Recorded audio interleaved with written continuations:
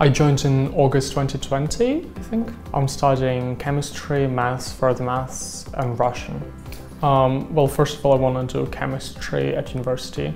I got received an offer from Oxford recently, and I also received a scholarship from them. So for me, it's a really big achievement that I have never even hoped for. And as a Ukrainian student, I, my biggest dream was studying in the UK. And studying and at Oxford was never even in my dreams. And I think coming to Seaford was the thing that allowed me to do it, basically. My biggest problem was that after I received an, an offer a few months ago, my biggest problem was that uh, for overseas students it's very expensive and the only way I would be able to go there is to get a full scholarship. So um, my tutor helped me a lot, my housemaster. Um, people at the school just generally helped me so much writing a personal statement, writing different support statements for the scholarship. And I think if I didn't go to Seaford, I would definitely not be able to do that.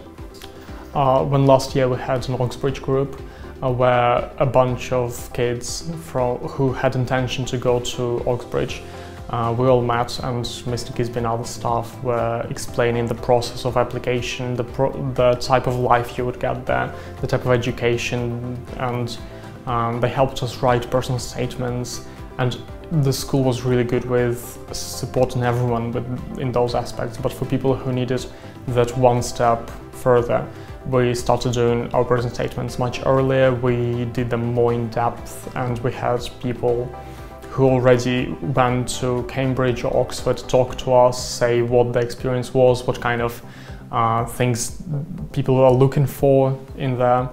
Um, and then after that, after we applied in October, um, a lot of people got offers for, I think I was the only one who got an offer for an interview, but people had exams, the application exams, and I don't think anyone else did get an offer, but when I got an offer for an interview, Mr. Gisby was doing with me practice interviews. I did some with Dr. Street, with Mr. Holy. Um, I tried to, I think I did one with my housemaster, Dr. Apothecary, as well. And after that, um, it was obviously very stressful and Mr. Gisby was trying to help me as much in like pastoral care wise, as much as he could. And I think he did make it less stressful than it would be if I did it on my own. And after I received an offer, I immediately applied for a scholarship because I knew that's the only way I could study there.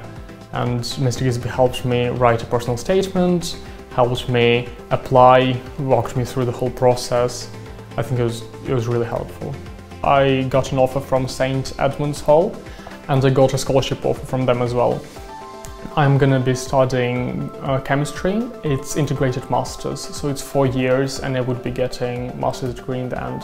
I'm looking forward to seeing just the lib. For me, the biggest thing is the library because I knew I know that it has almost every book in the world. Some some of them are original copies that don't exist anywhere else, and it's just exciting to be in a place with so much history, so much research done in it.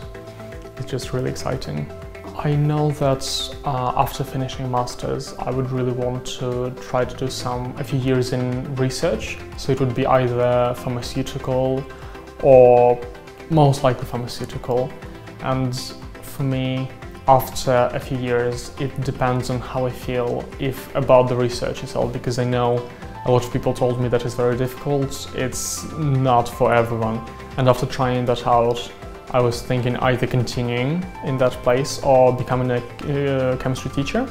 So it would either be a chemistry teacher at, at school or potentially at university, a professor. That would be my biggest achievement of all. For me, I found a lot more friends that I am similar to because in Ukraine, even though I had a lot of friends who I knew, who I, I consider them good friends, but we were all always really different. Our interests were really different. But, but here, I found those people who I enjoy talking to, who I can spend hours talking to without getting tired. For me, Seaford also uh, helped me a lot with my academics. For me, chemistry was a really big aspect of my life, and um, back home we wouldn't get as much funding And in here, when we came in here, the number of practicals we do is just crazy. The number of things we do here, how many um, just showcases, how well the books are designed, um, almost everything is perfect. Um, in maths, the the way the questions are positioned, the way that the structure of the A levels is created is really easy. Like it's it's easy to follow, much easier than I'm used to for me, being at Seaford also means developing my English. And I know that over the last year, two years, I definitely have improved it a lot. When I came in, it was really stressful to talk to anyone, but now it feels much better. And when I come back home, even though it's not as noticeable because obviously I have an accent, I'm not talking as fluently as some as native speakers, but uh, my English teacher when I came home. We met again, we talked with the whole class. I came to the class at some point and she definitely noticed that I'm talking much better now. Seaford is very good with supporting overseas students. I know that uh, last year there were a bit more students because they came for one year and then left. So like I know my friend Adela from Germany, she came for one year and then she went back to Germany to finish her education there. And I know that she goes full support here that um, she was a vegan and school was really supportive with. They made a special like meals every day for her. I know that for her the traveling was done basically by school, so the taxi was ordered, things like that. Uh, for me, also like just full boarding here because I'm obviously so I have to board over the weekends. It's amazing. School does different trips, different um, going out. It's just amazing and I think it depends on the education you're looking for because if you want to finish A levels, it definitely helps you. I know that with A levels you can apply to um, to the UK much easier than with, any, with anything else. Uh, school supports that as well, gives a lot of support in that aspect. Um, if you're coming back to Europe after finishing A levels, it's also pretty straightforward. Uh, I know that I had some problems because of the um, subject choices I made, because Europe is not, they don't see BTECs as full A levels, so that was one problem I, did, I had. But um, because I did business BTEC, and this, um, because of that I had to take Russian.